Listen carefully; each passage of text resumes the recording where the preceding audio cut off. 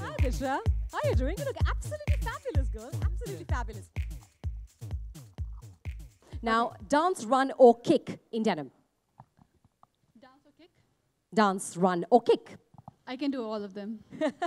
One Instagram worthy denim look. I think this is pretty This much is it. This is pretty I much really it. like it, yeah. Okay. Um, um, um, um, um, um, um, what, what is something that you would, would you sleep in denims? I can if I'm wearing baggy jeans. I can. Guys with beards or no beards? Sorry? Guys with beards or no beards? Uh, I think no beards.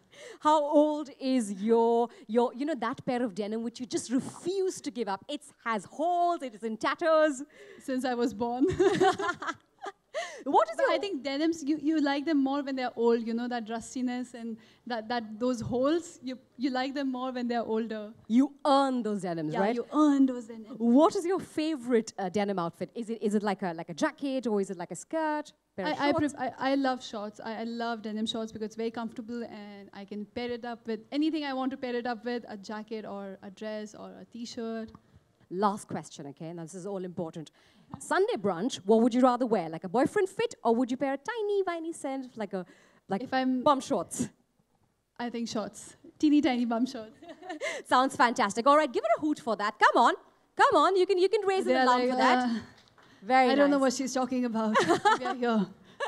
Thank you very much, Disha.